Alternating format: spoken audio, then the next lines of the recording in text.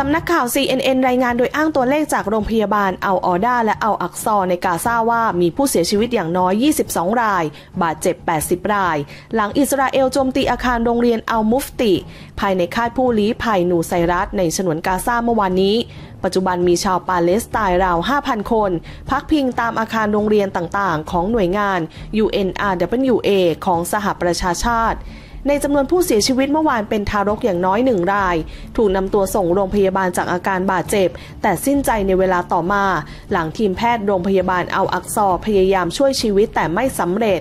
ด้านคาลิดอาบูเชคเฮอร์ หน่วยแพทย์บอก CNN ว่า สถานการณ์ที่โรงเรียนอัลมุฟติดเลวร้าย มีผู้เสียชีวิตและบาดเจ็บจำนวนมาก เขาบอกได้ว่าพื้นที่ที่ถูกโจมตีถูกจัดเป็นพื้นที่ปลอดภัย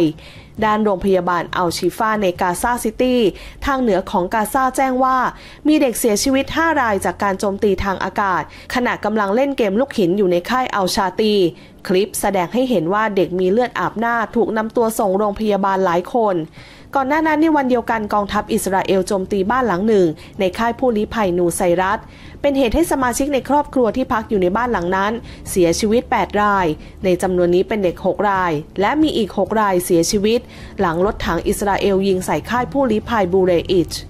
อย่างไรก็ตามมีรายงานล่าสุดเช้าวันนี้ตามเวลาในบ้านเราว่า กองทัพอิสราเอลส่งเครื่องบินรบโจมตีเต็นท์ที่พักของชาวปาเลสไตน์ใกล้กับโรงพยาบาลอัลอักซอ ในเขตเดอีเอลบาเลาะ ทางตอนกลางของกาซา ส่วนจำนวนผู้เสียชีวิตและบาดเจ็บยังไม่ทราบแน่ชัด โดยมีการเผยแพร่คลิปจากที่เกิดเหตุ แสดงให้เห็นไฟลุกท่วม และน่าจะมีคนจำนวนหนึ่งถูกเผาทั้งเป็น กองทัพอิสราเอลอ้างโดยยังไม่มีหลักฐานว่า มีกลุ่มติดอาวุธใช้สถานที่ดังกล่าวเป็นศูนย์บัญชาการ ส่วนที่เลบานอนกระทรวงสาธารณสุขแถลงเมื่อวันที่ 13 ตุลาคมว่า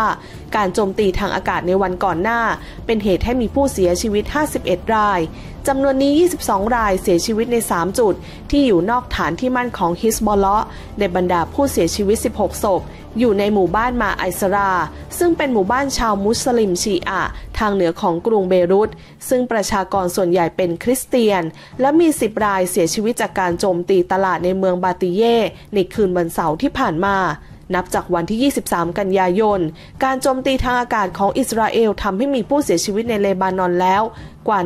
1,300 ราย ส่วนใหญ่เป็นการโจมตีทางใต้ ตะวันออก และชานเมืองทางใต้ของกรุงเบรุตซึ่งมีประชากรหนาแน่น แต่หลายครั้งกลางกรุงเบรุตก็โดนถล่มด้วยเช่นกัน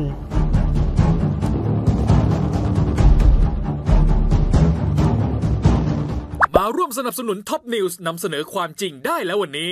เพียงกดปุ่ม Super Thanks แล้วเลือกจำนวนเงินตามที่ต้องการได้เลยครับ ขอบคุณครับ